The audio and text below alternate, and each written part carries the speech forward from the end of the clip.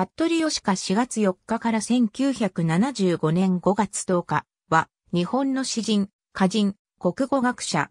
東京市日本橋区浜町の旧松山藩和久、松江邸内で生まれた。愛媛県士族、服部義信の長男。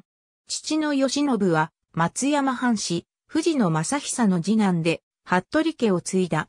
3歳の時に、父の故郷である松山に移り、松山中学校を卒業後、1904年に再び上京して、早稲田大学に入学。1908年、大学部文学科英文学科を卒業。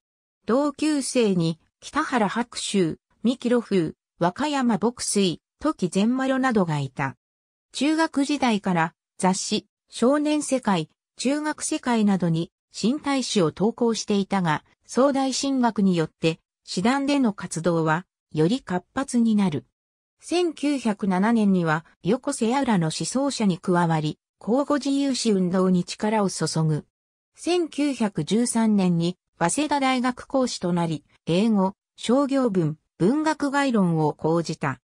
1917年の早稲田騒動では、プロテスタンツの一員として活動し、その結末を不服として、大山育夫、村岡常次、宮島常夫と共に、総大を去った。